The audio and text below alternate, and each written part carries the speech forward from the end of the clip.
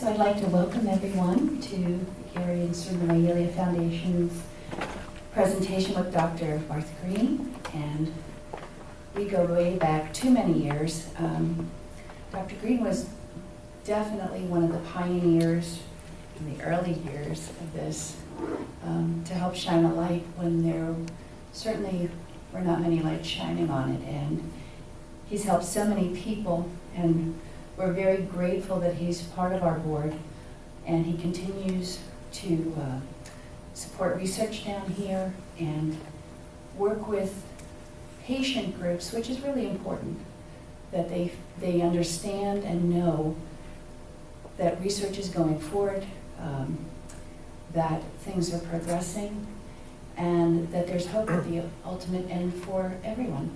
And hopefully, you know, in my life, I hope we see um, something for neuropathic pain that really works, and uh, maybe a cure. And I'm sure Dr. Green is going to be one of those people that pushes us to that end. So please welcome Dr. Green.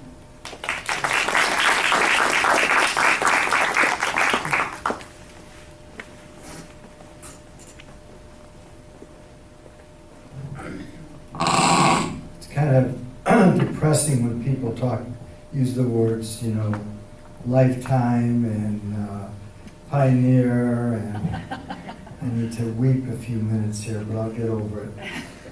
Luckily, I have a little chocolate rush from the cookie, but I appreciate you coming here. Behind you and around you are some of my teammates who are um, neurosurgeons and researchers, and some in training, some professors, and people that support me administratively, and, and uh, I guess they were curious to see if the old guy still has it and he can talk.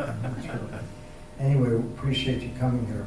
So I, I've been involved with, uh, with Chiari and syringomyelia for many years, and uh, prior to the imaging revolution, what we call the renaissance in imaging of the nervous system, we had very little understanding of this disease.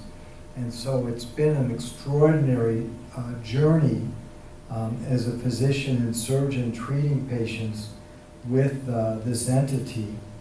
We know now that what we thought were a few exceptional patients um, with genetic syndromes, that probably there is a, a preponderance of genetic issues that uh, ultimately relate in the creation of a of a Chiari malformation.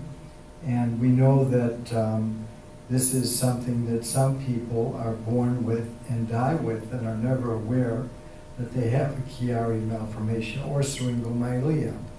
And a lot of people who come in my office say, oh my gosh, I'm just clumsy. I've been clumsy my whole life. And they're in their 60s or 70s and they have this huge syrinx and you just wonder if they sneeze, if they're going to collapse but people do adapt and uh, accommodate. So Chiari malformation itself is something that needs to be discussed over many hours and many sessions. Syringomyelia can be uh, present with or without, with or without Chiari malformation, and there's differences in types of Chiaris.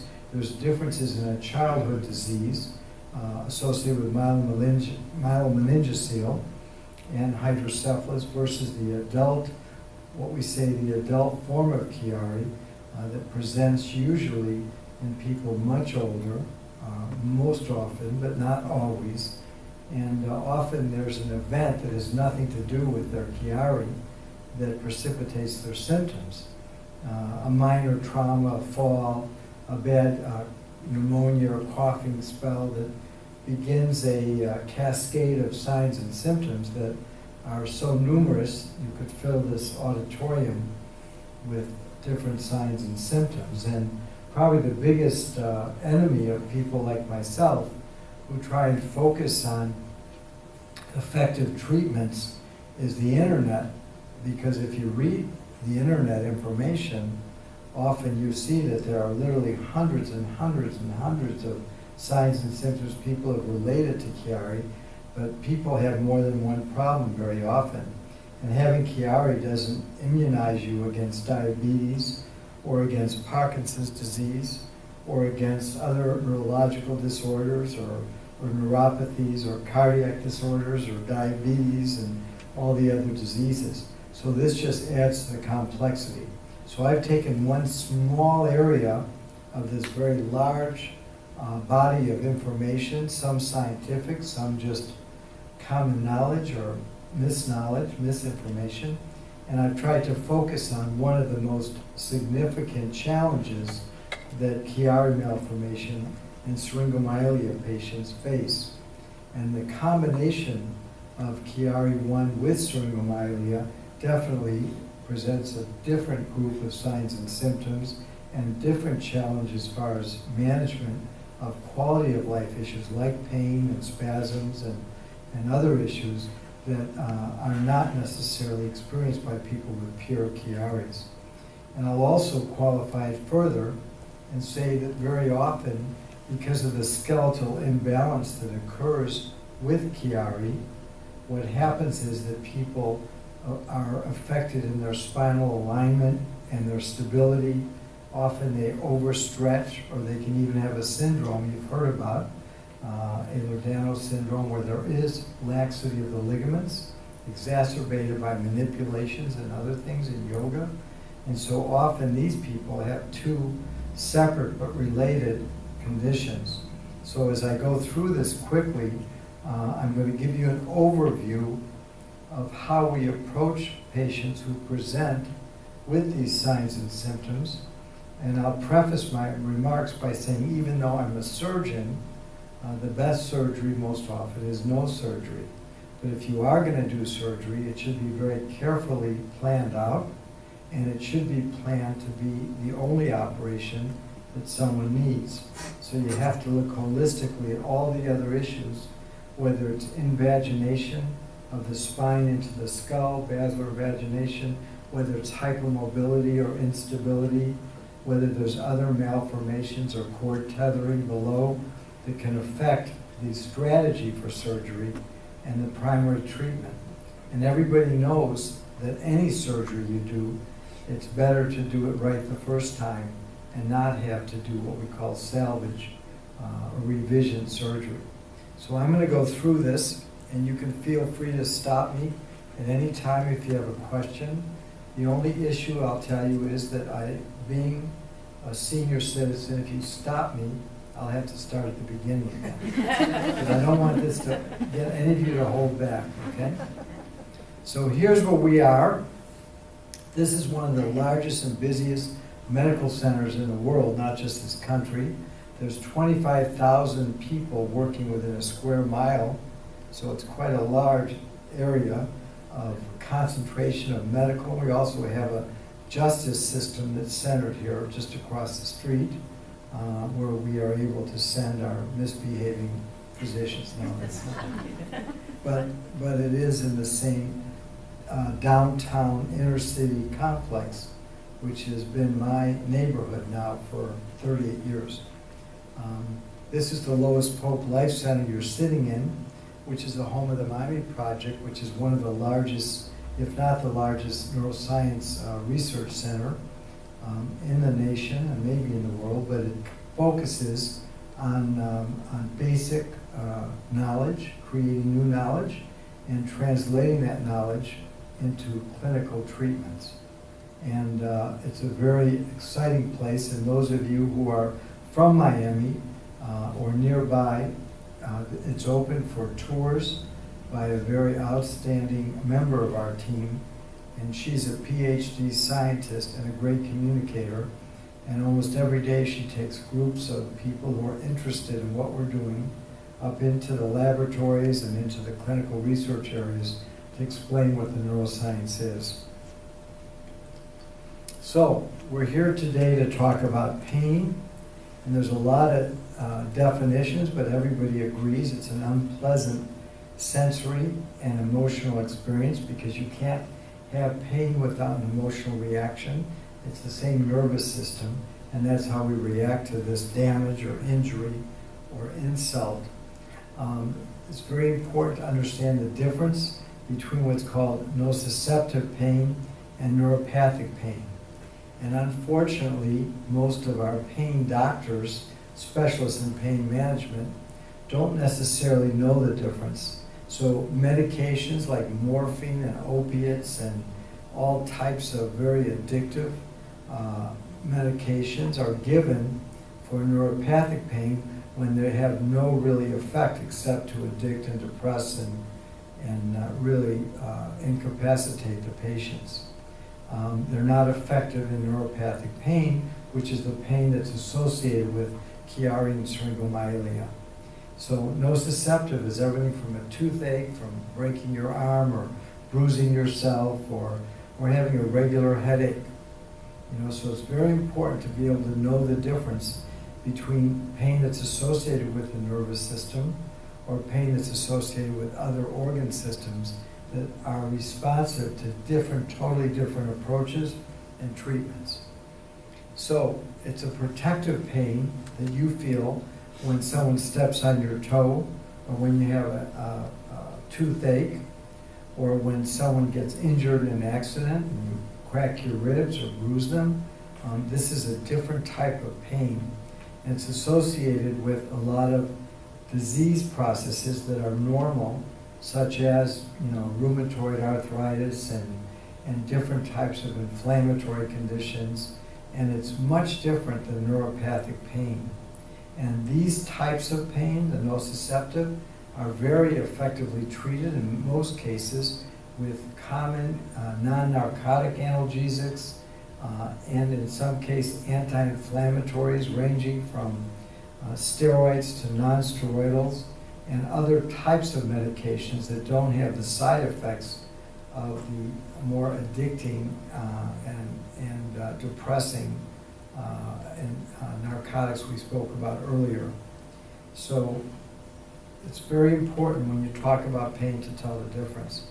If you ask anybody about neuropathic pain, um, it's very important to realize it's a rainbow, a myriad of signs and symptoms and different descriptions. I remember when I was a young student of neurosurgery, there was a very famous neurosurgeon that was paralyzed. He had a tumor, had surgery, and he developed this terrible pain in the lower half of his body. And he described it for the first time to my colleagues. He said he felt like he was always sitting on a beach ball. And he felt like someone was taking a match and, and rolling it back and forth under his lower half of his body, his legs, his butt, and his genitalia. And that this was what he felt every day of his life. And I think a lot of us in my profession for the first time had a real uh, insight into what people were experiencing uh, with this type of pain. And by the way, everybody who's paralyzed doesn't have neuropathic pain, everybody with a spinal cord cyst or syringomyelia doesn't have neuropathic pain, and all Chiaris don't have neuropathic pain. And some of each of those groups have a combination of neuropathic and nociceptive pain. So it's important to know the difference. Neuropathic pain usually starts at the level of injury or compromise of the nervous system, and it can be very local. It can be what we call below the level, and it, it can be diffuse. It can involve, for example, in syringomyelia, it can involve the entire body below, and it can affect some fibers that descend from the brain like trigeminal tract and go up into the face. Even though it's nowhere near the head, you still can experience facial pain. So there are things that we need to know about that makes us uh, that helps us understand what people are describing. Um, and there's also other conditions that have are associated with pain, inflammatory conditions. And um, it's very important to understand these. Uh, fibromyalgia, polymyositis, are sort of catch-all terms that people are told when the doctor most often doesn't know what's going on, and they just sort of say, "Oh, you've got fibromyalgia," you know, and and, and there is such a condition, but there are laboratory markers and there's clinical criteria that make this real. But most often, people it's just a simple way to sort of tell people go away and take some medicine. So uh, cancer has a very unique group of, of signs and symptoms, pain associated with cancer. that can be from the nervous system being involved directly by tumors or being damaged by the effects of tumor or being damaged by the effects of radiation therapy or being damaged by the effects of chemotherapy.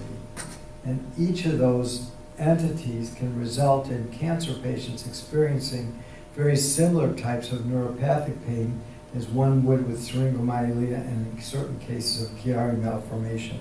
So it's very important to be open-minded, to be listening to what people describe and try and separate and categorize the cause of pain because each type of neuropathic pain has certain treatments which are more successful even though you just heard Dorothy uh, mention that, boy, I hope someday we have a cure for neuropathic pain. The truth is, we don't have a cure uh, right now for syringomyelia or neuropathic pain, but we have more effective treatments than we ever have before. So that's a good thing. And there's more researchers, some in the audience now, who are studying the uh, cause and, and treatment of Chiari and syringomyelia uh, and are very committed to finding better treatments and hopefully ultimately uh, through the tremendous uh, focus on genetics and other preventive medicine, uh, there will be a, a, prevention as well as effective treatments. So acute pain, uh, you've all heard of fight or flight. People who have, you see the pictures with people's hair standing up um, when they're scared and they breathe faster, their heart goes faster, um, their blood pressure goes up, and this is a normal response and it, to an injury uh, or even a scary situation. Chronic pain is a whole different ballgame. And as you know, it's an industry in this country, uh, hundreds of billions of dollars, you know. No one has any idea exactly worldwide what the cost is, but in this country, and especially in Florida, it's a thriving industry where for a while, you know, everybody used to say in Dublin or on every street there was a pub and a church. And in, in South Florida, especially Fort Lauderdale, was the most famous. On every street, there was a pub, a church, and a pain clinic. And uh, a lot of those have been closed down recently for dispensing millions of, of narcotic prescriptions without ever seeing or touching a patient. And this created a whole generation of drug dependent, especially young people or injured workers, and has had a devastating effect on our economy, not to mention the crime uh, that plagues our society and, and the violence, especially with guns. So chronic pain is a real issue. It affects everything, and, and it might have nothing to do with an, uh, may have nothing to do with a neurological issue, but it affects every part of your body, every system, and your not only your quality of life, but how you interact with others. And again, the psychological aspect of pain, when I see a patient and I say, I really think you'd be, uh, it would be beneficial for you to see a psychologist or a psychiatrist and, and sit down and, with someone, not a, a surgeon or your caregiver, not your family or friends, but someone totally objective who could listen to what you're saying and what you're experiencing and help you sort out that information and maybe rechannel some of the behavior that you're experiencing and, and, uh, symptoms you're experiencing in a more positive, productive way. And they still go go nuts and say, "Oh, you crazy? You think I'm crazy?" You know, and uh, and it becomes very difficult because people associate uh, psychologists and psychiatrists with a disease or something terrible. And the truth is, everybody who has pain has psychological reaction to pain. It's normal. And if they say, I'm not depressed, I'm not upset, I'm okay with the pain, then you know that, that they really do need a psychiatrist, not a psychologist. So um, it's very important. And of course, these are compounded in, in syringomyelia patients, for example, in Chiari patients. Very often there's a minor trauma. And someone I had one lady who was hit by a sausage in Kentucky. Someone threw a sausage at her in a factory of sausages, and she sort of jerked back, and that was it. She caught it, and then she ended up suing workman's comp and suing the person because they caused her Chiari, and, and uh, and caused her syringomyelia. Well, the truth is, guess what? She had no symptoms until that guy threw the sausage at her in a playful way, just, you know. But she did afterwards. So the law is very fuzzy in this. Even though she had pre-existing, it wasn't symptomatic. So legally, she became, for the rest of her life, a workman's comp case, and which totally, in, in many ways, uh, defeated any opportunity for her to get better. Because as long as she had pain and she was disabled, even though she was no more disabled when she caught it, she would, she would never respond, you know, to therapy or the opportunity to get back her life. So this, this is the reality show that we live. So you just have to be aware of it. If you're in an accident, you know, and you become aware of your Chiari and you have a neck injury, is it your fault that somebody T-boned you? You know, but is that, how does that tie into responsibility for your medical treatment? And I don't know. I think Dr. Jagid, who's there looking with his pose, you know, the famous thinker, will tell us at the end of this lecture what the answer is. But, but it is, a, it's not easy. There's no doubt the family plays on it. You know, some people really enjoy the dependency and the, and the uh, treatment they get, which is different if they're in pain or disabled. So all of these things, and any surgeon or clinician, allied health professional or physician who thinks that these things aren't important should go see a psychologist. So that's my advice. Endorphins, why is that important in Chiari and syringomyelia? Well, endorphins are a natural source of, of pain relief. Everybody makes these, and, and, and many different sources. The adrenal gland is a major one. But um, endorphins are produced in response to stress or exercise or activity. And someone who is in pain has a reversal they usually are depressed and apathetic and don't want to work out or exercise or be active. And so they don't have even the natural responses that other people have to pain. And so this is a very significant part of what happens when you, it's a cycle that occurs. And so the deconditioning of, of Chiari syringomyelia patients is very detrimental. And so it's important as part of the approach as a consumer, as a healthcare provider, that we make sure that people spend time every day of their life being active. Take the steps instead of the elevators if you can. If, even if you can't walk rapidly, you can be in a stationary bike or a common bike.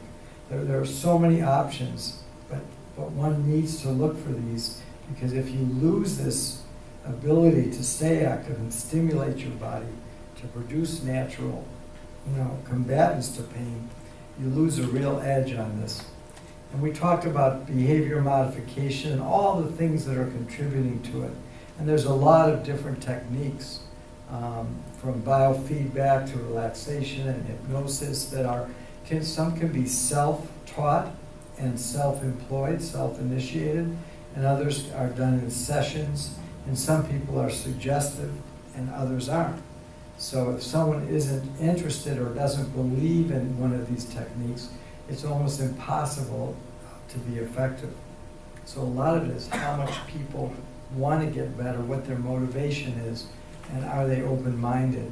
Everything from music therapy, you know, millions of people suffer from ringing in their ears, for example. And they found if you sleep with headphones and you, and you adjust the volume correctly, you can overcome this because sensory input competes with each other.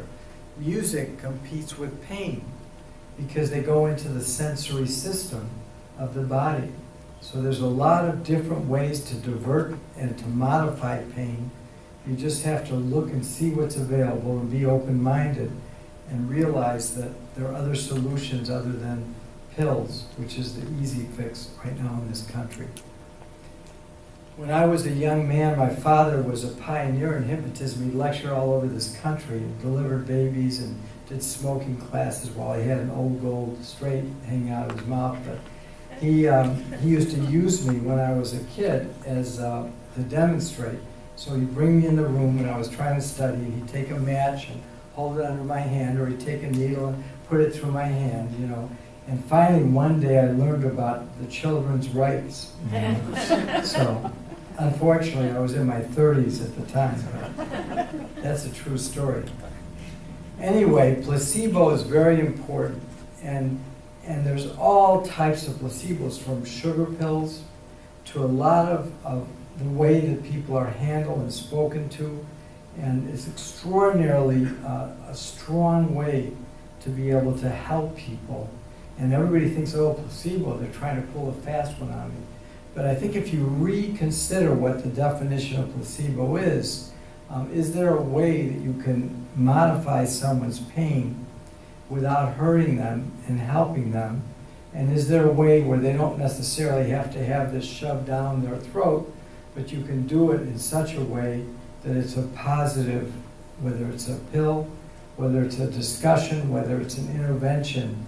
It's very important to keep this concept in mind. And, and again, there are a lot of strong cultural issues and cognitive issues with placebo.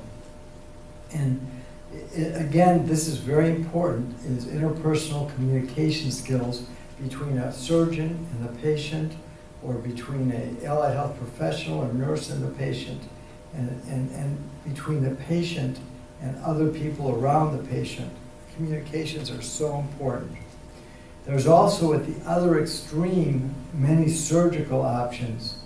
And surgery, surgery for pain is something that used to be very common in my profession when I trained.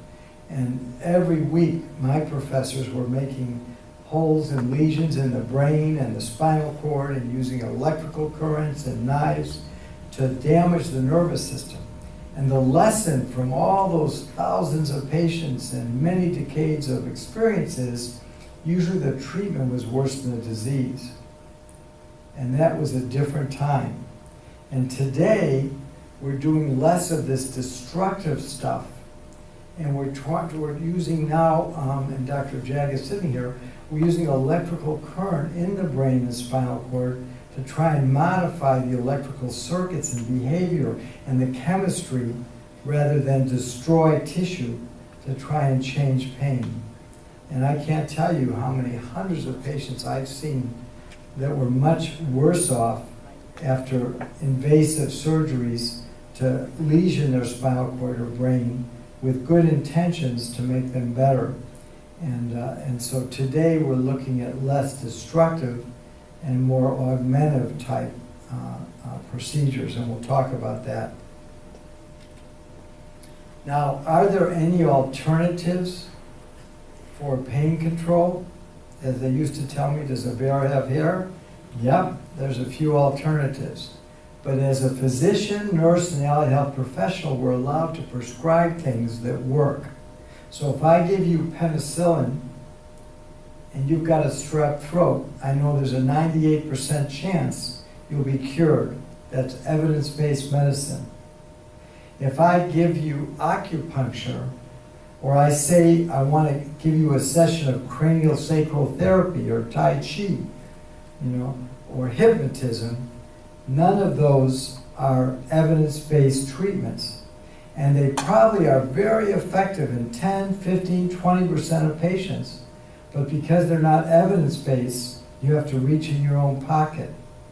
And Americans culturally don't consider health something that is as, as important as the car you drive, the boat you have, the house you live in, the type of TV you watch. So it's amazing to me to see the whole mojo about where people value their health, their happiness, their comfort. And so very uh, rarely are people willing to meet, meet, reach in their own pocket when you say to them, well, this may work, but there's maybe a 20% or 15% chance it'll work. But it's non-invasive, it can't hurt you, and it could help you. But that's not good enough for the insurance companies, the government, or most patients in this country. I think you'll find in other countries that I've visited in Europe and elsewhere, people seem to be more interested in alternative treatments. And, um, and in some countries, like China, for example, people have a choice They can either go to traditional Western medicines and have surgeries and pumps and stuff, or they can go to the traditional physicians and use herbs and other organic preparations and, and manipulations of types. Uh, and it's their choice, and they can switch over if they're not happy with the path they chose. So you've all heard about some of these, like biofeedback and breathing therapies and all the different hydrotherapies. And again, these are very valuable. Uh, One of these, Pilates, at least in Chiari patients and spinal surgery and non-surgery patients, I think is so effective that I'm hoping someday someone will do a study to show it's evidence-based. Because we used to take everybody with spine problems and overflex them and stretch them and say the more flexible, the better you are, stand on your head, all this kind of stuff. And now we know that building your core strength and uh, uh, ferociously protecting your posture is really something valuable, which Pilates accomplishes. So I'm a big fan. So, you can have neuropathic pain without um, nociceptive pain. You can have them coincidental. And again, there can be more than one problem in a patient. But these definitions are very important. In general, if you ask me, how do people describe neuropathic pain? Um, they describe it as burning, pins and needles, you know, tingling, um, vibrating, um, lancinating, and you can have nociceptive pain that's lancinating too. That's not necessarily neuropathic. But these are the types of pain and the way that people describe them that make you shift your diagnosis towards neuropathic pain. And it sure doesn't have to come from Chiari. You can just have diabetes and have a neuropathy, or you can just live in a place where there's toxic chemicals in the soil, or biologically, chemically altered food that we eat that can cause some of these signs and symptoms. There's no doubt about it. And hopefully we're waking up to a better world as far as that. So, allodynia is described as perception of pain from a non-painful stimuli. So if, if I go up to you and I go like this, you know, and, and you shriek, you know, that's inappropriate. You shouldn't have pain from just barely touching. And some people consider that in the definition of allodynia, whereas hyperalgesia, which is used commonly, um, is someone who you pinch a little bit, but they scream instead of just pull their hand away. It's an overreaction. So all these have a little change in the definition, but it's very important to realize that most uh, neuropathic pains don't require a stimulus. You don't have to touch someone or squeeze something or bump someone. It's a spontaneous pain very often, and that differentiates it in many ways from nociceptive pain. So, what are some of the surgically treatable neuropathic pains? And I think one of the common ones that people talk about is the carpal tunnel because it wakes you up at night with this terrible pain in your forearm and your hand and burning and cramping and tingling. And it isn't present as much during the day. It's very common because of the way people use computers these days and the way their posture is and the way workstations are not intelligently placed. So that's an example, a simple outpatient procedure releasing the pressure from that nerve and people are cured. Sometimes immediately and sometimes over time the nerve will recover. So compressive radiculopathies, syringomyelia, very often when someone successfully treats it, and it depends on, we'll talk about the treatment in a few minutes. It's either, you know, the best treatment we know today is to eliminate the cause. And when I was training, there was no knowledge of what the cause was, so we put shunts in everybody and drain them. And they would often fail and cause scar tissue and more problems, more scarring and tethering. But now we know that most cases of syringomyelia get better with a straightforward Chiari malformation, decompression, Chiari decompression, they go away.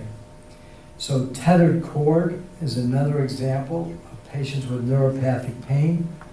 at the area that the cord is stuck from tumor surgery, from other types of surgery, from meningitis, from infection, uh, from uh, trauma, wherever that cord is adherent, um, this is where the pain often is, but it can also be below that level. And uh, tethered cord syndrome is now much better understood, and it can be so post-surgical, post-trauma. You know, people, kids with meningitis as a child can develop it in syringomyelia. So there's so many different causes, but the treatment is the same. Reestablish the spinal fluid flow to normality, just like the Chiari decompression. Trigeminal neuralgia, another example, and reflex sympathetic dystrophy. I don't want to focus on those. Headache is a major problem with Chiari patients. And there's a lot of theories about it. But basically, it's a very simple concept. Spinal fluid is made inside the brain on a constant rate inside the ventricles or cavities in what's called the choroid plexus. And it circulates through and around the brain and around the spinal cord. Against gravity, it comes up over the top of the brain again and is absorbed in a filtration system called the arachnoid granulation. Anything that blocks this circulation can cause syringomyelia. And the latest theory is there are spaces in the spinal cord, Virchow-Robin spaces, which are openings inside the, in, inside the cord itself, that when the pressure changes in the spinal fluid flow, it becomes like a boulder in a river. So if normally the spinal fluid is produced, flows, is absorbed in a constant, if you look at it like a river and you put a boulder in there, it creates eddy currents swirling and that spinal fluid, instead of going right by the area, is absorbed into the area and it can blow out and, or, or enlarge from this fluid and it can be caused what's, it can create what's called a spinal cord cyst or syringomyelia. Others uh, can be hydromyelia, can be direct pressure from the brain where there's hydrocephalus. Again, a blockage of the, of the release of the fluid from the brain where it doesn't circulate normal from infections, trauma, you know, meningitis, from uh, hemorrhage in, in babies. All these things, tumors, can cause blockage of flow. And sometimes, because of the altered dynamics, the fluid can be forced right from the brain into the spinal cord and enlarge it and cause the same entity. But the treatment, the best treatment we know now, is to recreate normal flow. And so it's very important um, that the headache, the treatment for a headache, the best treatment, if it is a Chiari headache, or if it is a, um, a syringomyelia related headache or syringobulbia, which is fluid in the brainstem, is to try and reestablish that flow through untethering, through a shunt, diverting the fluid. There's other possibilities. Um, it's very important also to teach people who have these problems ways to avoid it. I'll give you an example. Um, you can't tell someone never to cough, but coughing uh, and is the same thing as when you strain, you're constipated, you're having a baby, you're in labor. It's called Valsalva. And you put pressure, and it raises the pressure in your spinal fluid. You know, you see people lifting weights. Instead of breathing like they're supposed to, with their mouth open, they hold their breath and they go like that, and that's Valsalva and it creates huge problems for people with Chiari or syringomyelia because it changes the pressure and causes that pounding, terrible headache. And people often say, oh, it's, it's a spinal headache because it's often in the back, but it can radiate to the front. It can be on both sides versus a migraine, which is almost always on one side. So, but it's a very disabling headache. And people with Chiari and with syringomyelia learn not to try and cough. When they laugh, the same thing can happen. They walk away if you're telling a joke because they know it's going to hurt them if they start laughing. And so they also know being constipated raises the pressure, your intra-abdominal pressure, if your stomach's distended, and causes a valsalva. So these are all things that are should be avoided. And we also teach people with these headaches to do things like, you know, alternatives like Pilates, because your posture and core strengths help open up the circulation. And some people have found good relief with cranial sacral therapy, which is again considered fringe medicine. It's an alternative. It's not FDA approved, it's not evidence based.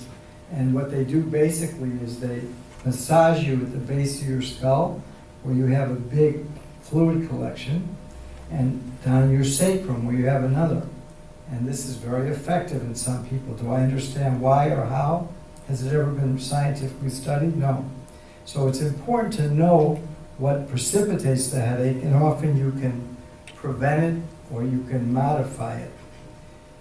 So the best treatment is to eliminate the cause. My criteria is quality of life. Most people don't come into me disabled or paralyzed. They come in and say they're miserable. Every day of their life, they get headaches and they get pain, you know, in their shoulders, their arms, numbness, tingling, you know, and I, I see if I can modify their behavior. I talk about the causes of their headaches and their pain, and I give them Pilates. A lot of people with Chiari, their posture, they're protecting so they slump over. Their spine is bent forward, what we call kyphotic instead of lordotic, and they often get manipulated by a chiropractor who actually overstretches their neck so they're very loose and they develop spinal headaches, accentuating Chiari type headaches. So what I do is I usually use physical therapy, core strengthening, trunk stabilization, the opposite of yoga. Isometrics to build their posture and core, and, and breathing exercises, you know. And if that doesn't work, you know, and I've tried anti-inflammatories and mild medications, we'll talk about that in a second, as surgery becomes not just the last resort, but a rational approach. But my criteria is that every day in your life, you are disabled or not functioning well because of your signs or symptoms. Not something once a week or once a month you have a flare up, but it's got to be something that interferes with your quality of life and your functional status every day. And then, again, I do the workup and talk about the pros, cons, alternatives, and risks. I'm going to show you several cases of Chiari decompression so you'll understand uh, the surgical treatment, but it's simply reestablishing spinal fluid flow. Now, these are the types of non-surgical medications, and probably the most effective are the antidepressants and anticonvulsants. Um, the antidepressants, the old standard was amitriptyline, Elavil, and the newer one that's, that's fashionable but not as well tolerated is Cymbalta. And I'm not going to spend a lot of time talking about it, but all of them have indications and contraindications. And you have to be very careful mixing medicines. It's called polypharmacy. But in my experience, to try and avoid surgery, a combination of one of those medicine from each of those classes, whether it's the non-generic Lyrica or the generic Neurontin or gabapentin, with a amitriptyline or a Lexapro or a Cymbalta, gives the best effect, and patients aren't necessarily addicted or dependent on these medications. Um, there are other headache treatments specific, like migraine treatments, and more invasive things like nerve blocks, and there's a lot of these clinics that are out there waiting to burn your nerves and do that kind of stuff. But the less invasive, the better. If you are going to invade someone's body, you should probably do the appropriate treatment at that point. Okay, there are surgical treatments for headaches, like cutting the nerves, but then people will complain the rest of their life, that I can't feel when I brush my hair, I feel awful, I can't, you know, when I lie down. So every time you cut a nerve or burn a nerve, you create another problem. So anything that's invasive like that, destructive, is a trade-off. Now some people have instability of their spine uh, because of a disease like rheumatoid arthritis along with Chiari or syringomyelia, or they have congenital weakness in the base of their skull and spine The, the spine can telescope into the skull, called basilar invagination, or flattening the skull, platybasia. In those situations, often the Chiari surgery, the decompression should be associated with a stabilization, fusing the skull to the spine. So it's very important to be able to holistically evaluate and treat these patients so that you can potentially do this all in one day with one operation. Okay, what are the uh, generators of pain? And of course, syringomyelia, there's a lot of controversy why it's painful. Because there are thousands and thousands of people walking around with syringomyelia that don't know they have it. They get an MRI, they're in an accident, or they get a headache, and they say, oh my God, you know that you've got syringomyelia? So we end up treating very few of those patients. So to have a cyst in your spinal cord doesn't mean you've got pain. And so this is a very um, challenging area of diagnosis and treatment. And very often these cysts or syrinxes are so small that the treatment can be very harmful. So we always look for reasons if someone does have a syrinx, and sometimes we can't find a reason, but very often they have what's called an arachnoid cyst or a, a scar tissue they were, or webs that they're born with that block the flow that you can't see on a regular MRI. And we, we uh, utilize tests called cine MRIs, which are motion pictures of the spinal fluid movement, which helps us to see disrupted flow and obstructions that if removed, instead of shunting the cyst, will allow the cyst to disappear. So it's a very important tool. And I believe the first software for Cine MRI was developed by the neuroradiology team here at uh, University of Miami in Jackson. So, what about salvage surgery? Unfortunately, there's cowboys in neurosurgery, like other types of surgery, and a lot of people don't treat conditions often, and they don't have the experience or the training to do the right thing the first time. And uh, so it's very important, just like you look for your car, or you look when you buy your house to get comps in similar real estate sales, that you look around before you choose someone to treat your Chiari or your syringomyelia. Because very often, those of us in larger centers like this one that treat a lot of patients with Chiari and syringomyelia are forced to be the second in and it's always a lot safer, and more effective to be, be there doing the surgery right the first time. So it's very important to look at people's background, their credentials, their training, see if the Institute has a commitment to this problem and whether they've got an experience, a volume experience with these patients. Because it, it makes a huge difference on how you end up. And so credibility is very important. And I want to also tell you that surgery isn't a simple fix. What percentage of people of Chiari surgery have complications? Is it 1%? Is it 5%? Is it 10%? I can tell you when we first did these using shunts, it was probably 20 or 30%. But now it's probably down under 5%. And is it 2% or 3%? It depends on what you're doing and the complexity of the surgery. It's low, but it's not zero. And one of the complications is needing further surgery, which isn't anybody's goal in the beginning, but it's realistically. And any of these things can occur, especially if your surgeon isn't experienced or isn't operating on you for the right reason and doing the right thing. So it's very important to place this is a very precious, important decision in your life, just as much as buying a car or a house, and spend that much time getting other opinions and looking at other options. What about barriers to recovery? We talked about physical deconditioning. Alcohol and drug dependency is a huge barrier. You never hear of anybody as a recovered alcoholic or a recovered narcotics addict, they're always recovering. And so it's a very difficult challenge on top of having a Chiari or syringomyelia. Chronic depression is another area. Um, and patients with chronic pain uh, always have depression because that's a natural response to pain. So you have to holistically look at your patient and make sure that their pharmacological problem, whether it's alcohol or narcotics, their psychological problems, and their physical problems are all looked at holistically.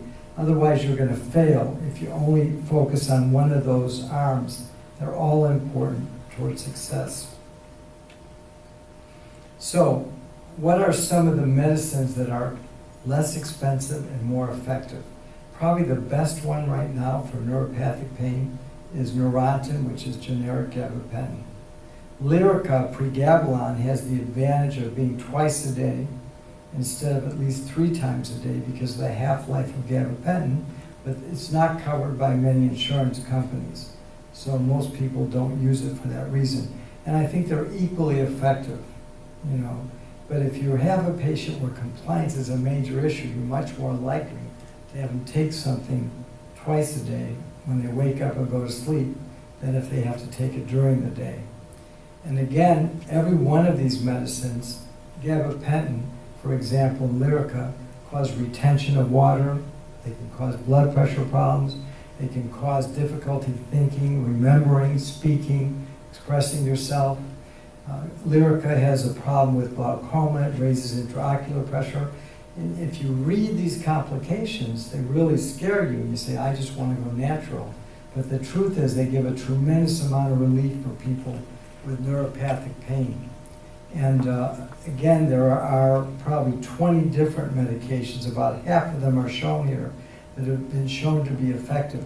If someone is obese and has an eating problem with weight, Topamax has an added side effect, not only helping neuropathic pain, but it decreases appetite, whereas gabapentin or Lyrica can be associated with increased appetite and weight gain. So all these things have to be weighed very carefully, and you have to have a good, open discussion with your patient about these medicines, and you have to be careful you don't mix them with medicines that can cause problems. Again, what we call polypharmacy. So, the anticonvulsants we talked about, some minor side effects, some major side effects. The antidepressants, the old standby, the simplest one is, is Elavil or amitriptyline. It's very effective in neuropathic pain, but people can stay up at night with restless legs. It can cause dryness in the mouth. You know, it can make people anxious even though it's an antidepressant, but it is very effective and probably the cheapest of all the medications. At the other end of the scale is Cymbalta, which is an extraordinarily effective. It's the only antidepressant that's FDA approved for neuropathic pain, and there's no doubt it's helpful. But if you read the list of side effects, you probably want to go to Canada and avoid the draft. But it's but the truth is it can be safe if it's managed effectively. And mixing two different antidepressants is also an issue. So you have to be very careful and make sure you're dealing with someone who knows how to deal with these medications. I have a colleague here who's a neurologist who sort of dedicated his career to these type of problems, uh, Alberto Martinez Arizala, and he's quite aware of this. So usually I let him handle the medical management because it takes a lot of time. You have to be very accessible and you have to really listen to people and care about them. Very important. So these are some other alternatives. Anxiety is a major issue, and I have no problem using something like Xanax for anxiety rather than morphine or Oxycontin or what most of the pain doctors use. These are somewhat habit forming, but to me, they're less dangerous um, than the narcotics. Some of the patches work very well on local neuropathic pain, uh, the anti-inflammatory or the lidoderm patch, but they all have side effects if not used properly. Okay. What about opioids? They don't work in neuropathic pain. And here's the problem. People come in my office and they say, I say, what's your problem? They say, I've got nine out of 10 pain. And sometimes it's 12 out of 10 on a 1 to 10 scale. I said, but you're on 200 milligrams of OxyContin a day. And they, and, and they say, yeah, but I can drive and I can work. I said, what do you do? Well, I'm a fireman or I, or I, you know, a construction worker. I go up and telephone poles. Think about it. There's no way.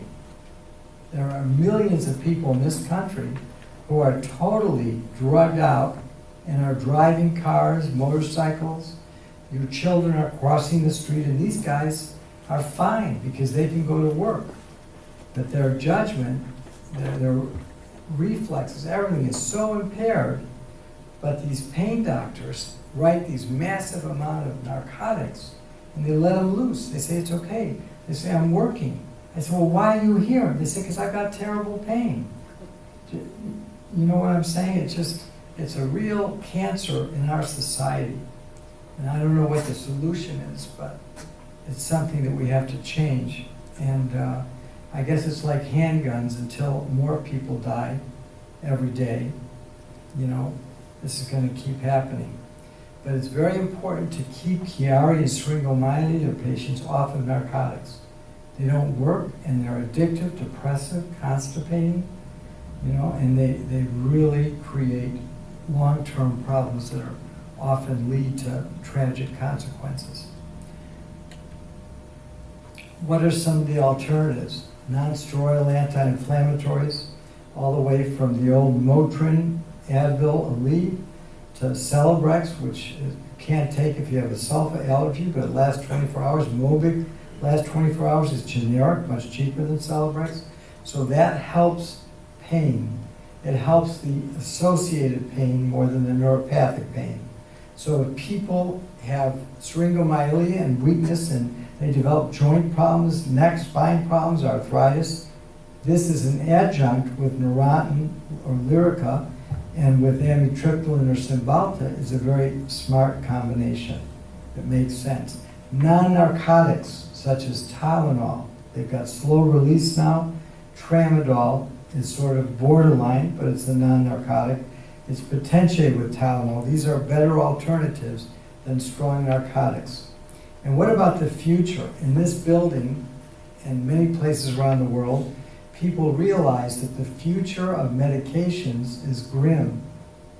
Don't tell your kids to buy stocks in pharmaceuticals because there's no doubt that cellular therapy will replace drugs because we'll be able to create almost all the different medications, drugs, or their behavior with cells that we'll be able to wake up and put to sleep. For example, in, in the slide you see up there, there are cells from the adrenal medulla that you can program, literally. So if you take a plain Tylenol, they'll wake up and they'll let loose, they'll excrete endorphins, catecholamines, neurotrophins, chemicals that get rid of pain. And if you take a regular Tylenol for four hours, these cells will be awake and they'll be giving pain relief. If you take an extended release, they'll be up for 12 hours. And so they can be put back down. So this is the future, to be able to control natural administration of natural pain relieving agents. And, and it's not so far off or so impossible. I'm going to quickly go through a couple of cases of Chiari malformation and, um, and let you see um, cases uh, where you actually um, see someone, let me get the pointer, with the diagnosis of Chiari that has, in this particular case, you see the tonsils are low, but it's not very tight looking. The cine showed an obstruction. Let's see if it's the same one. No, this is another one, sorry. This is a 34-year-old with syringomyelia. And you can see in this case, the MRI doesn't show um, a huge blockage of this area, but when the cine was done, the tonsils could be seen going up and down, and they were actually blocking the flow, and you saw the pain diagram. And this, that patient improved with surgery.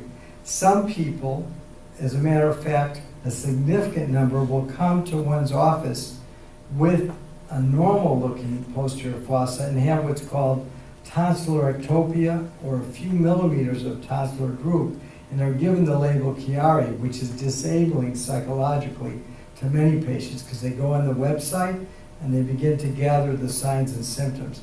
So it's very important to be specific um, with this diagnosis.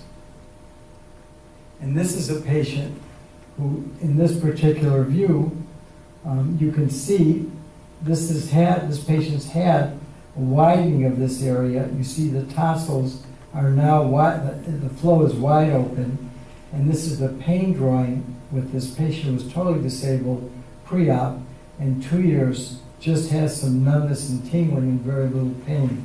And that's the goal of the surgery. Again, this is very common motor vehicle accident, has nothing to do with the cause or creation of a Chiari, but it precipitates the symptoms. And this is a more classical looking MRI. You see the foramen magnum, the opening between the brain and the cervical spine, is totally filled with the patient's tonsils and brainstem, and they're compressed. Can you see that? This is a very classical Chiari malformation. You see how this is called the T1 image, where the spinal fluid is dark, T2 where the spinal fluid is light. And you see a blockage here. And post-op, you can see that this is wide open and the patient has all the symptoms have resolved.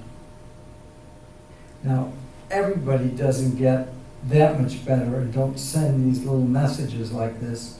But the fact is, the majority of people who have a bad Chiari, the one I showed you just now, have the best result. And the ones that have borderline Chiaris that maybe didn't need surgery in the first place may not have as good results. But this type of severe Chiari with blockage of flow is predictably someone who's going to be very happy in the future. Okay, this is another patient, and you can see that this patient has a complicated picture because not only is there a Chiari malformation and fluid, see the white in there and the dark in the center of the cord, syringomyelia, cervical thoracic, but also this patient has a congenital spinal stenosis, narrowing of the canal. So in this case, we not only did a Chiari decompression, but also what's called a laminoplasty and widen out the spinal canal and treated both entities which were contributing to the symptoms at the same time.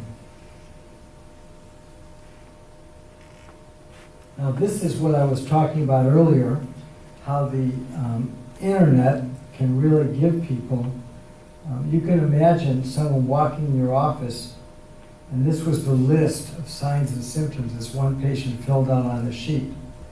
So I had to use the antidepressives for my staff as they were taking the history over two or three days. But the fact is, this person picked up on almost every um, particular symptom. And you can see, again, a, a severe Chiari. The tonsils are way down into the cervical spine. And this patient, I'm sorry, had what's called basilar invagination, the spine was sticking up into the into the skull and it was all collapsed. You see all this area here. And it was flattening the brainstem as well as compressing the cord. And so this patient had a combination of an occipital cervical fusion along with a Chiari decompression and duroplasty with good results. This is just a patient that I operated on this week. And just to show you a 21 year old, and most patients are older, most adults, when they present with this, but you can see the severity of her cyst all the way up and down her cervical and halfway down her thoracic cord. And these were her main symptoms. And she couldn't cough or sneeze or run or do anything that young people do. And this was her surgery. And you can see that we coagulated the tonsils. These are the two tonsils. This is the brain stem. This is all the way down into her second cervical. And this is opening up the cerebellum, and this is the fourth ventricle. This is where the spinal fluid has to, is created along with the rest of the ventricular system, and it flows out. It has to flow freely. So once you do the decompression and you cut all the adhesions away, release the adhesions, and shrink the tonsils, you see this is normal cerebellum. These tonsils are like your own tonsils. You can eliminate them and they don't change your function. Once you do that, then you put a graft on. And we either use the material from someone's own scalp, which is called galea, or if the area is too large, like this patient was on Tuesday, we use uh, what's called alloderm, which is a form of artificial graft which works very beautifully. And this patient should be getting out of bed tomorrow and hopefully home. And what will happen over the next weeks, we'll see further MRIs, and the syrinx will just collapse. And usually by three months, it's just a little slit. And the patient will recover and hopefully live happily ever after. So the more severe the imaging and the more severe the malformation, the more predictable, the better outcome. So what have we learned by doing thousands and thousands of patients in many different ways? We know that Chiari patients are all different. They're all unique. And some present at age 60, some at age 20, the adults. And some present with uh, syringomyelia, and some don't. And some have tethered cords, where their spinal cord is pulled tight down to their lower spine, and it creates part of the tonsillar prolapse. Some have a spinal fluid leak, and they have what's called a secondary Chiari, where the tonsils shrink down not because they were born with a Chiari, but because it's due to an injury or another uh, failure to seal up the spinal fluid spaces. So we know it's very important to be diligent and be very selective on how you treat patients and who you treat. And again, it's more important to do it right the first time than almost any other disease. It's very important. And again, um, any surgery, no matter how good you are, may work or may not work. And all surgeries have complications. It's not like going to dinner and a movie. So it's very important as a surgeon that you communicate, that we communicate with our patients on every single case about the pros, cons, alternatives, and risks. And be very honest and transparent and be very accessible. Because Chiari patients aren't simple. They need to be able to talk to their doctor, to talk to the healthcare team that takes care of them. And that's a key to this whole area, especially in pain management.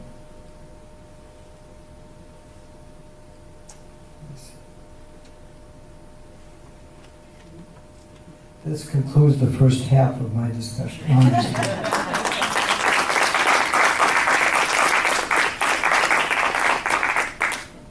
so, anybody that doesn't have a question? No, any comments or questions? Yes. So if, if you have um, a shunt process, such as a syringo subarachnoid shunt,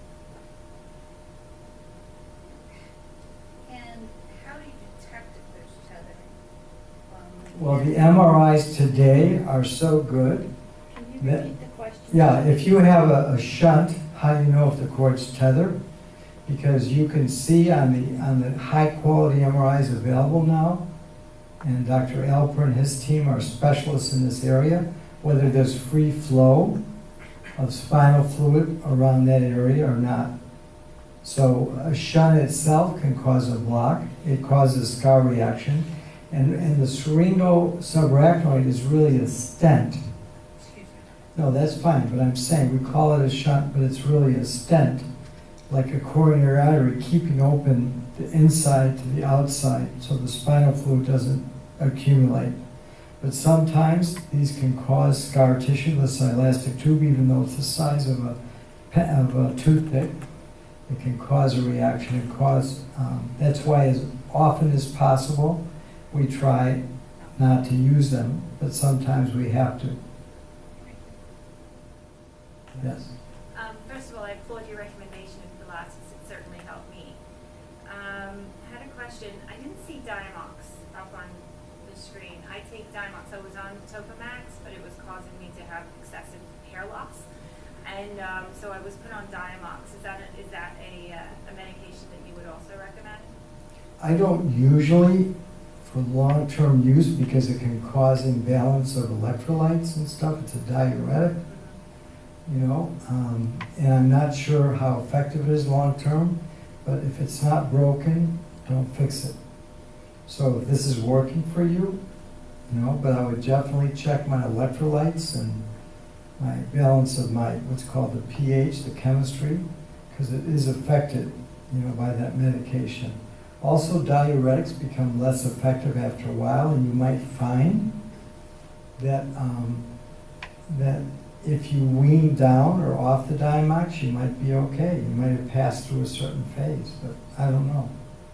But it's surely not a narcotic or addicting or depressive. You just have to watch those things. Yes.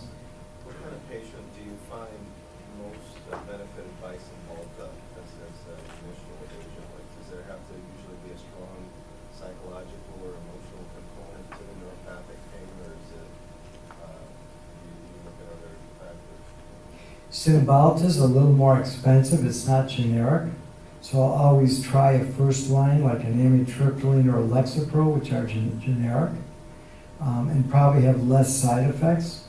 But I find that if people fail at those, that um, Cymbalta seems to help people with uh, reactive depression from chronic pain, especially neuropathic pain. And there's evidence based that it does. But um, it's not a simple drug, and a lot of people don't tolerate it. They have much more uh, reported side effects. Uh, a lot of people just tell me, I, I, here's a bottle, I couldn't take it, so I take it to Haiti with me.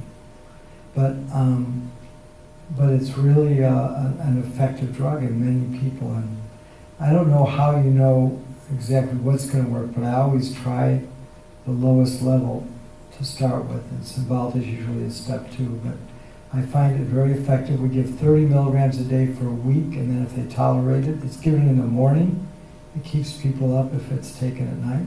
And then if they tolerate it, we give them the normal dose, which is 60 milligrams. In big people, like Dr. Jagid, you know, they we give as much as 90 a day, like 60 in the morning, and, and some people go up to 120 a day, but I think it's approved up to 90 milligrams.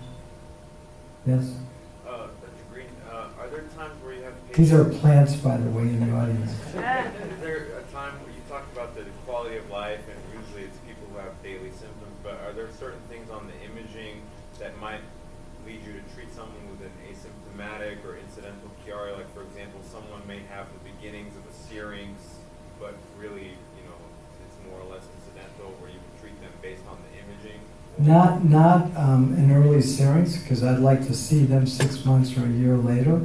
And if I see the syrinx is growing, then I would electively treat them, because I can predict they're going to lose function or develop pain that could be prevented. Um, people used to ask me all that time with spinal cord injuries, paraplegics, and quadriplegics came with these big cysts, but they had no pain. But um, they lost their uh, motor function, their tone in their lower extremities, which meant they atrophied more, they had more bed sores and other problems from that, even though it was painless, so I would treat those cysts.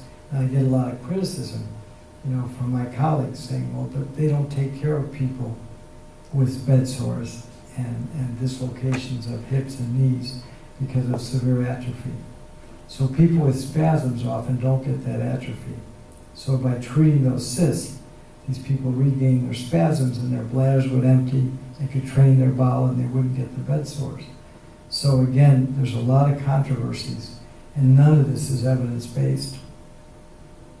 That's what we're hoping to do with the organization, do prospective studies, randomized studies, follow people surgically and medically and be able to sort all these things out. It's no longer a time when doctors can say, this is what you should do, or this is what I know you should do, or this is what works. You have to really sit back and say pros, cons, alternatives, and risks. And this is what we know, for example, what's evidence based and what's not. Like I talked about the penicillin. versus the Tai Chi. Any other questions? Yes. Can I go back to his question about the Chiari Zero, where um, maybe the tonsils haven't herniated into the, down through the foramen, but they're on it and, and it's blocked the flow? then that's, that's really not that- necessarily Chiari zero. If the flow is blocked, it's a real Chiari. It's a Chiari. Yeah, because some people, as you saw, you know, have 15, 17, 19 millimeter prolapses down to almost C3, and other people have a six or seven, you know, but other people have a very full uh, tonsil, and it pegs and with the pulsation, with the breathing, with the heartbeat, it blocks the flow. So it depends on the dynamics. That's why we're past the stage of just measuring the tonsils. It's also a matter of doing the flow dynamics and correlating them with the patient's signs and symptoms. I don't know if you want to comment.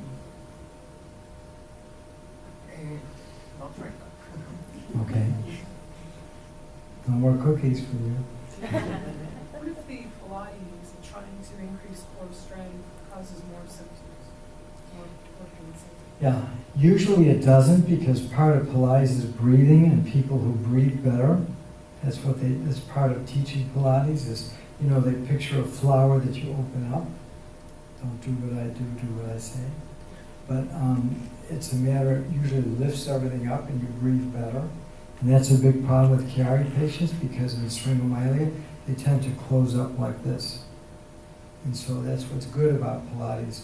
Um, people who have um, spinal stenosis, who have what's called kyphosis, and whose spines are locked in sort of a flexed position off balance, if you try and straighten them up, they have terrible pain.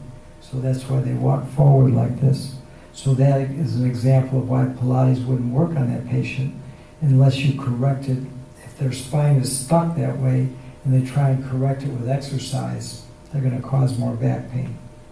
So that's an example. People with stenosis of the cervical spine, like you saw, if you try and get them to be straight like this, they'll have more pain because it buckles the ligaments. So Pilates in general is amazingly effective. Pilates in specific cases can cause pain. Okay, well, thank you everybody for coming here. New class is Sue Costa. And uh, if anybody has any issues or questions, we, we, we do a very large volume. We're very committed to the patients. We do the basic research and we support organizations that, that have a optimism and an interest and investment in the future being better. Thank you, Dorothy.